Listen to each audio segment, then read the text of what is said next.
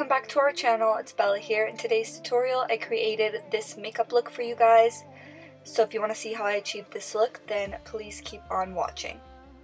Like a real love, but it goes so fast. So the first thing that I did was prime my eyelids and I used the Makeup Forever Ultra HD Concealer to do so.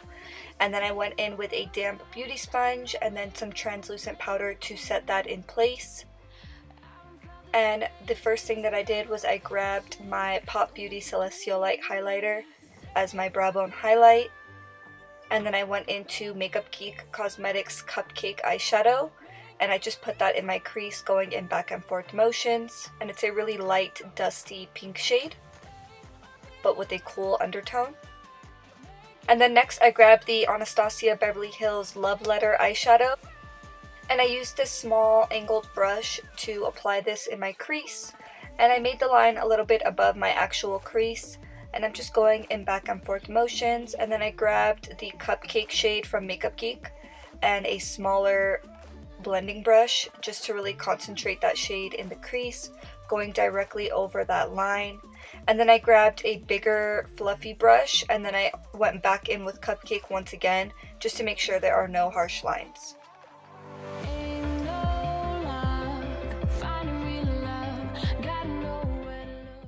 And then I went back in with that Makeup Forever Ultra HD Concealer and I just went ahead and cleaned up the lid space and then I went in with my BH Cosmetics Club Tropicana 28 color foil eyeshadow palette and I grabbed this pinkish shade and I just packed that all over the lid and this eyeshadow is gorgeous. I love all the foiled eyeshadows in that palette so I highly recommend it and it's affordable.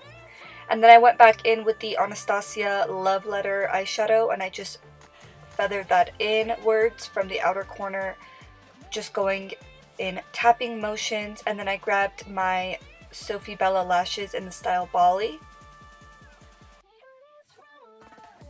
I will link the website to these lashes in the description box below.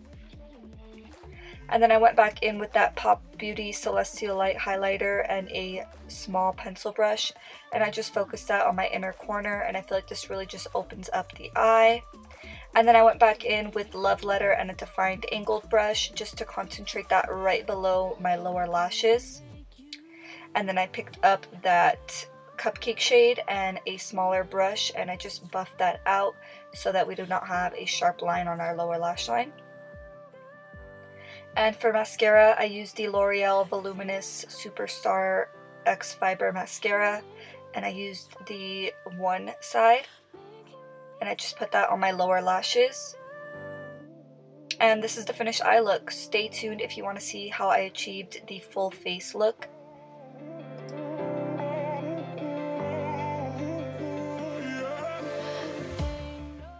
So the first thing that I did was I grabbed my L'Oreal True Match Lumi Glotion and I used the shades 901 and 902 mixed together and I feel like it just gave a really nice glow to start off this look. And then I went in with my Bella Pierre color correcting palette and I used the orange shade to cancel out my under eye circles. And then I blended it out with a damp beauty sponge and as you can see it doesn't look as crazy once you blend it out. And when we add concealer it's just going to make the under eyes super super light and cancel out that dark circles that I had. And then I went in with my NARS Natural Radiant Longwear Foundation. I cannot put this foundation down. I tried to use a different foundation today to switch it up for you guys and I really couldn't. And I blended it out with a damp beauty sponge. And then I went in with my LA Girl concealer in the shade Chestnut to contour and I put that on my forehead, on my nose, my cheekbones, my lower lip, and my jawline.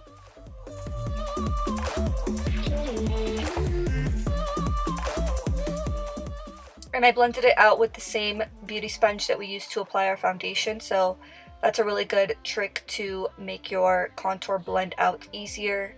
And I went in with the NARS Natural Radiant Concealer in the shade Custard.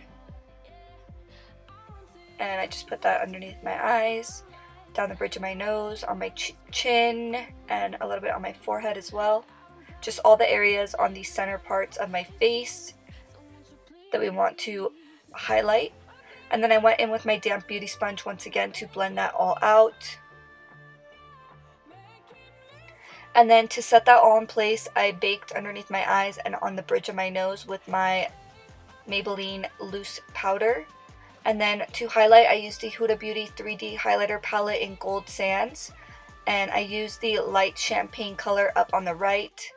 And I really, really loved this shade. It's super vibrant and just champagne, but gold at the same time. And then I used the BH Cosmetics Satin Bronzer. And then I used the blush in the palette as well. And I just put that on the apples of my cheeks and a little bit on my nose and chin, just all the areas that the sun would naturally hit my face. And for lip liner, I used the Makeup Forever lip liner in the shade 21. And then for lip gloss, I used the Dose of Colors Can You Not lip gloss.